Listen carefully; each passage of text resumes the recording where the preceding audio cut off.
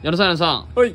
新しく出たプーマのウルトラアルティメットに合う矢野さん的靴紐の色をベスト3教えてください。はい。じゃあまず第3位。はい。こちらですね。はい。シルバーですね。はい。こんな感じですね。はい。はい。次。第2位ですね。えー、はい。こちら。オレンジ。どうですか？結構色は合いますよね。